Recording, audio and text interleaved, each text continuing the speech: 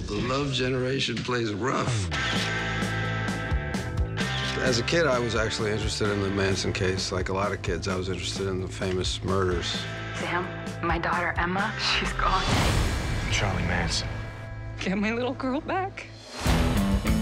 Just as a frame for a show, I thought Manson was interesting. And then to imagine taking a real 40s and 50s guy living through the 60s, you know, not of the 60s. This isn't a guy who is in the vanguard of free love and drugs. He's a guy that's going to be dragged kicking and screaming. You gotta read him his rights. What?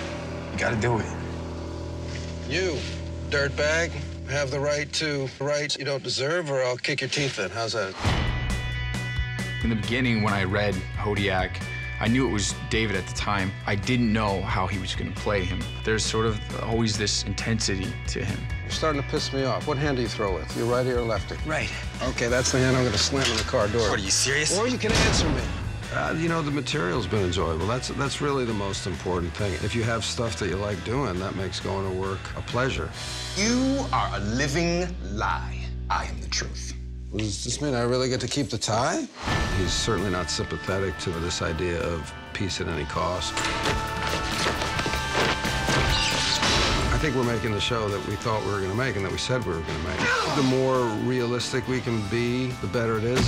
See something you don't understand, you want to hit it or shoot it. Oh, you're hurting my feelings. You know me so well. Whether or not you're interested in Manson, I don't think makes a difference. You, you hear his name associated with the show and you think, well, it's about Manson, but it's not really. It's about America.